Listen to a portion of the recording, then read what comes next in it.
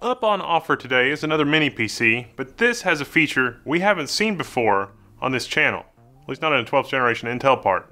It's unique. You're going to want to take a look. Especially if you're a home lab enthusiast.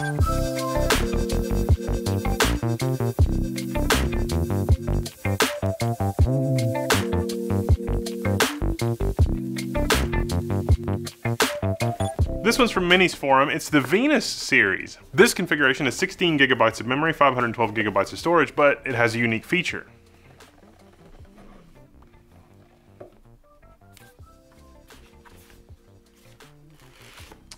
Ooh, I love that unboxing. We have dual 2.5 gigabit LAN. Dual LAN, you say? That's a home labber's dream. As a matter of fact, it is. This is the NAB6. It is a 19 volt power input brick. We got dual HDMI as well as dual USB-C DisplayPort alt mode at the back. Two super speed USB ports. Our power brick input, of course, Kensington lock. And then at the front, we've got two more super speed USB ports and another Type-C port. The front USB-C port is a USB 3.1 Gen 1, while the Type A ports are 3.2 Gen 2. 5 and 10 gigabit, basically. At the front, we've also got our combo headphone microphone jack, so that it's capable of running, you know, a headset. Again, these make excellent business class machines. You need to run Microsoft Teams or Skype or Discord or whatever, this can do it.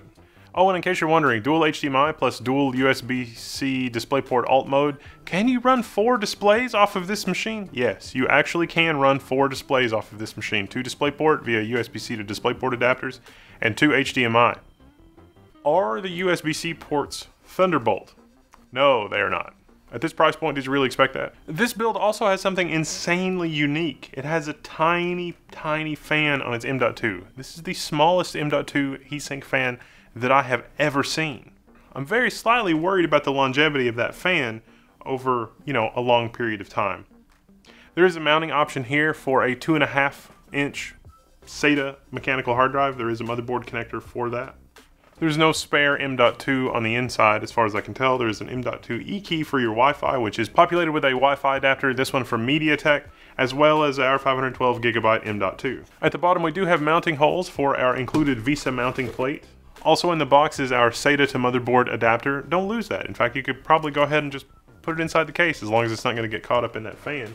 Comes with your two and a half inch SSD mounting screws, as well as your VESA mounting plate and screws for that. A short HDMI cable and your power cable for your power brick. Your power brick, ooh, that's a nice one. Your power brick is a two and a half amp, it's a 119 watt power brick and that'll pair nicely with our Alder Lake Core i7 12650H processor. How are we doing in terms of performance and sustained load? well, it will use quite a bit of power, and as a result of that, the fan really can kick up. But it's a nice whooshing sound as opposed to a high-pitched sort of whiny sound. Uh, maybe a little bit in between whoosh and whine. It's definitely not the best that I've seen in a small form factor machine, but it is by no means annoying and that is also in an artificial stress test. Uh, just using it, even for really heavy computational workloads, the fan doesn't really ramp that high. It's just really when I'm running artificial benchmarks. So as long as you don't run any artificial benchmarks, you won't be able to hear it. And if you mount it behind your monitor, you're probably also not going to be able to hear it or it's going to be barely audible. This is 6 performance cores and 4 efficiency cores. That's 16 threads total. That's kind of a lot of threads for higher end information workhorse kind of thing. I mean, that is the i7 configuration, 12th generation, but it's kind of a lot of horsepower. So a RAM configuration, DDR4 3200, nothing really to write home about. It is pretty good though for this form factor. Now from Geekbench 6 and AIDA64, both of those are posting impressive results. Pay particular attention to the results from Geekbench. Geekbench runs pretty quickly. It doesn't really have enough time to uh, quench the burst, you know, the heat load dissipation capabilities of this thing. But I would rather have a chassis that can dissipate the heat than one that bursts really quick and then once it gets warm it just sits there and sort of bakes itself. The Minisforum cooling solution really can take away the heat, which is pretty good.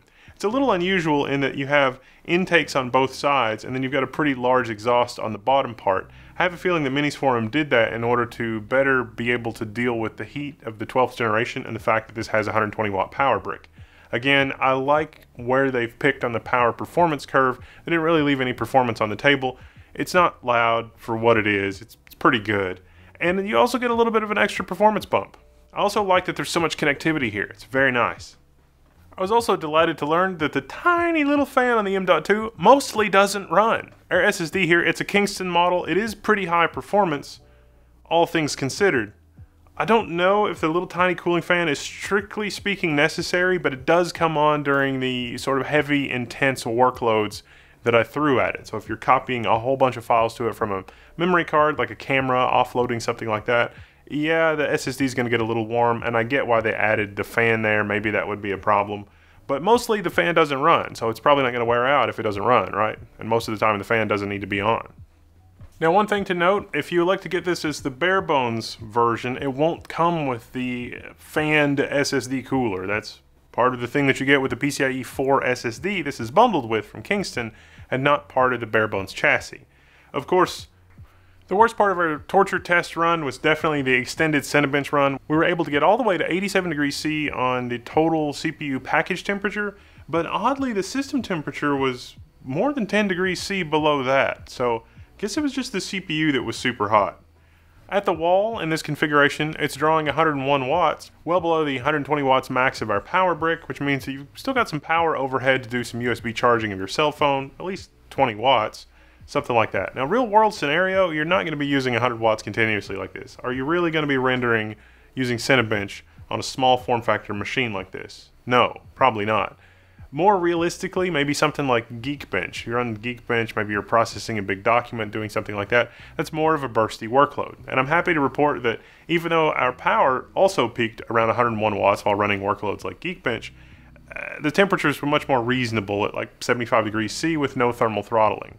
It's also worth noting that the thermal throttling that did occur in the Cinebench workload was very minor. There was not really a significant loss of performance, meaning that I think Minisforum has done the tuning here to find exactly the right spot that their uh, built-in cooling capabilities have, but that also means that if you wanted to go in the BIOS and configure things and uh, you know, maybe take the rails off a little bit, you're not going to have a lot of headroom in this configuration.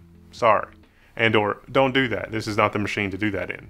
The built-in Intel UHD graphics here, nothing special, nothing to write home about. It is a pretty fine productivity machine, however. You want to run this with dual monitors? No problem. Dual 4K monitors with a high refresh rate because you enjoy a high refresh rate when you're looking at your spreadsheets?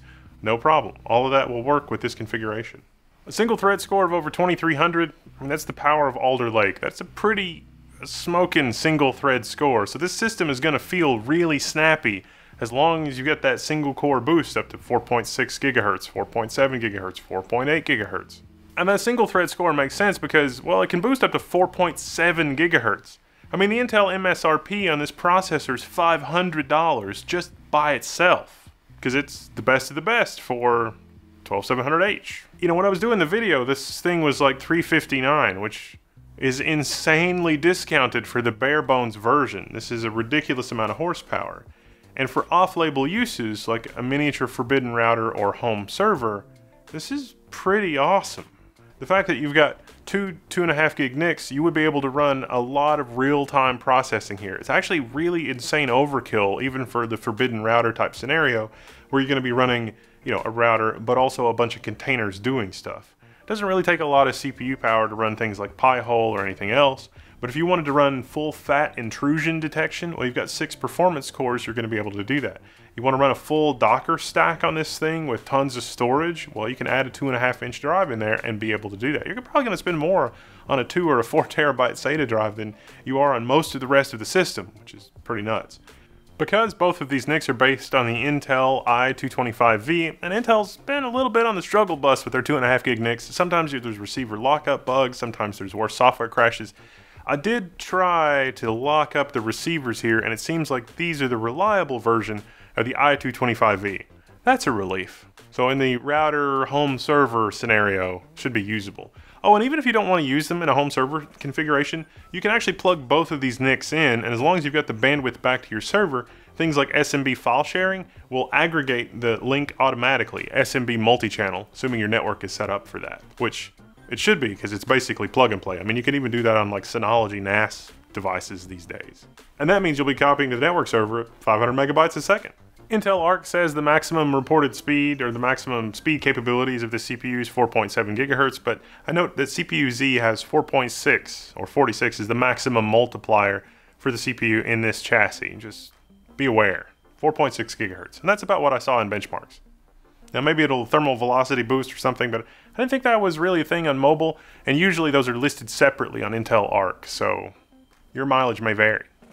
So I want to do some software stuff with this, maybe over on the Linux channel, and maybe on this channel. Uh, OPNsense. There's an OPNsense project that plugs in to uh, give you a really nice graphical dashboard, and that part of it can run in Docker.